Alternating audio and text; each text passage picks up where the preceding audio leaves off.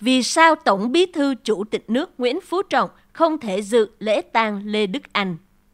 Tới đêm 2 tháng 5, các bác sĩ chăm cứu đã làm hết khả năng, nhưng sức khỏe của Tổng bí thư Chủ tịch nước Nguyễn Phú Trọng vẫn không thể tốt lên để đảm bảo cho lần xuất hiện vào sáng 3 tháng 5, làm trưởng ban tang lễ nhà nước cho cố Chủ tịch nước Lê Đức Anh mà Việt Nam đã công bố trước đó vài ngày.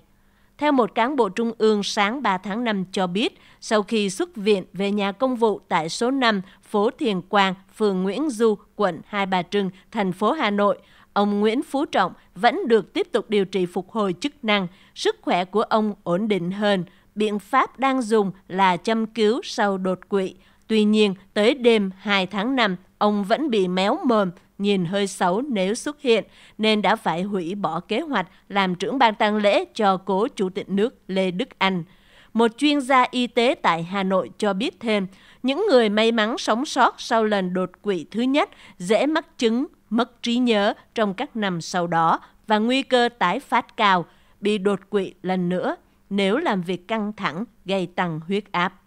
Theo truyền thông nhà nước Việt Nam hôm nay đưa tin, thay mặt ông Nguyễn Phú Trọng, bà Đặng Thị Ngọc Thịnh đã đại diện văn phòng Chủ tịch nước tới viếng cố Chủ tịch nước Lê Đức Anh, đại diện văn phòng Trung ương Đảng là ông Đặng Văn Nền.